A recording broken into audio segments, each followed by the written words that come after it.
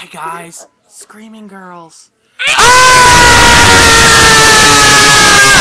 And the one fat guy, me, yay!